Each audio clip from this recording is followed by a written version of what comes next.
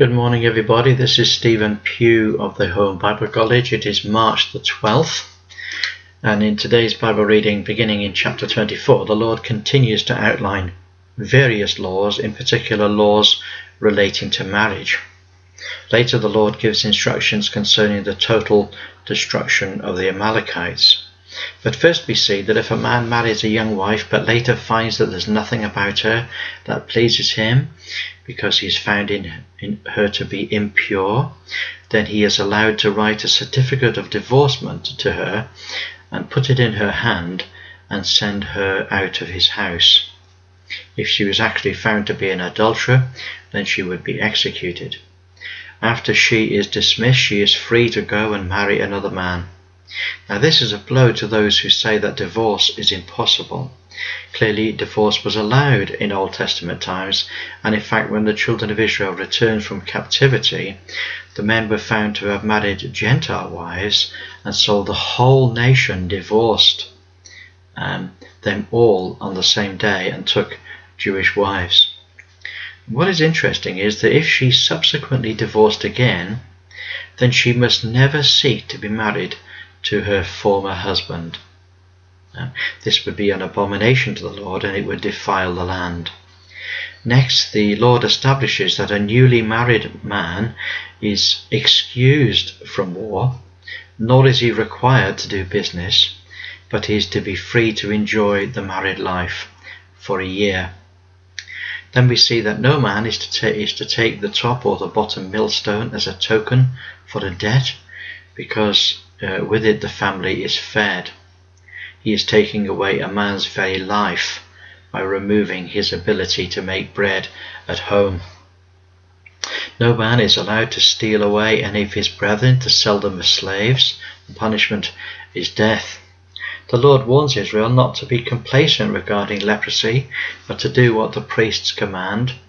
And when a man is borrowing from you, you're not to go to his house but you're to stand at a distance while he brings a pledge. The pledge might be his own blanket.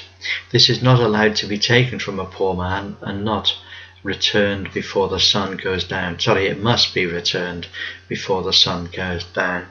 The hired man that is poor um, is not to be oppressed even if he's a stranger in the town or a stranger in Israel. Every day his hire is to be paid because he must return home to his family with the means to feed a hungry wife and the children. If the poor man cries to the Lord, the Lord will hear him and record this as a sin against the employer. Fathers will not be executed for their children, and nor children for their father. Um, every person will die for only his own sin. Justice must be true and without bribery, especially for the stranger, the orphan, and the widow, and no pledge may be taken from a widow, ever. At harvest time, a sheaf must be left for the poor stranger, widow, or orphan, so if, when you're collecting the sheaves in the field, you accidentally leave one behind, then you're not to go back for it. You leave it for those that have no fields for those that have no support. When collecting olives, the trees may only be beaten once, while uh, what was not ripe and didn't fall is to be left for the poor. The same was true in the vineyard. Next, the Lord talks about the settlement of legal cases. If a man comes to law and is found to be guilty, then he can be beaten, but not with more than 40 stripes. Now, in the case of a scourge, a whip was used with three thongs and the prisoner had 13 beatings, which meant he had only 39 stripes, one less than what the law demanded.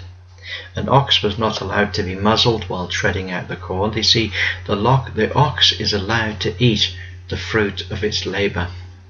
Next, the Lord gives instructions regarding the preservation of the inheritance of the families of Israel. If a man dies without an heir, then his brother is to take her to wife and to have a son to the, uh, the to the conservation of the inheritance in the family. The firstborn of her sons will inherit the land, and the name of her dead husband will not be lost in Israel. Now, this, of course, is what the story of the book of Ruth is all about. However, if the brother refused to marry her, then she will go to the elders of the city and relate the case. And then the elders of the city will call him and inquire of him. And if he still refuses, then he must remove his shoe and give it to her, and she will spit in his face, and she will say, This is what is done to the man who will not build up his brother's house. That ungodly man will be referred to as the man whose house had his shoe loosed. And next, the Lord says that in, that in a fight, a woman must never grab a man by his privates. If she does, then her hand is to be cut off. No one is to pity her. Then the Lord gives instructions regarding deception and trickery. No one is allowed to have weights that are incorrect weights, either too heavy or too light, because these are a means of stealing. Those who do this are an abomination, and those who have just weights are promised a long life. Lastly, the Lord reminds Israel of the evil work of the Amalekites and the decrees that they are to be destroyed from off the face of the earth, and their evil must never be forgotten. Now, there were a few things that um, came to me as I was reading today and studying.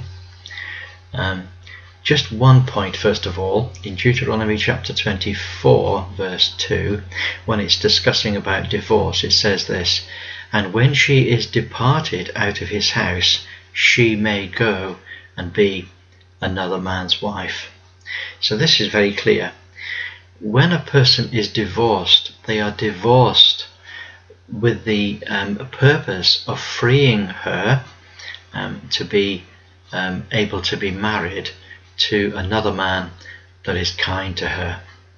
So when she is departed out of his house, she may go and be another man's wife. Now there's a great deal of misunderstanding about divorce, not least because the King James Version is a little obscure in some New Testament passages, not so very clear. Um, and that the teachings of the Roman Catholic Church influenced the minds of the translators. However, the scripture is very clear that when she is departed out of a house, she may go and be another man's wife. So there's three things here. First of all, it is possible for a divorce to take place. The second thing is that when she is divorced, that frees her to marry legally again. And thirdly, if she goes back to marry her previous husband, that is an abomination in the eyes of the Lord. So marrying the same person twice is completely forbidden. Um, I want you to notice also in chapter 25 verse 1 it says if there be a controversy between men and they come into judgment that the judges may judge them then they shall justify the righteous and condemn the wicked. The purpose of judgment the purpose of judgment before men is that the righteous may be justified and the wicked should be condemned. But I want you to notice something about this verse is that this divides humanity into two groups. It divides humanity into those that do that which is right in the eyes of the Lord. They're the righteous, and they're to be justified. And those who do that which is wicked in the eyes of the Lord, they are to be condemned. They are the wicked. Um, and uh, the other thing is in verse verse nine it talks about um, when a man when a when a man will not marry um, his brother's wife, then she shall call for the elders of the city, and they will take off his shoe, and she will spit in his face and shall say, So shall it be done unto the man that will not build up his brother's house. And so we have the whole of the book of Ruth explained in a little verse like this. How fascinating. The scripture is all one book. Anyway, I wish you every blessing and look forward to speaking to you again tomorrow. Have a great day. Bye for now.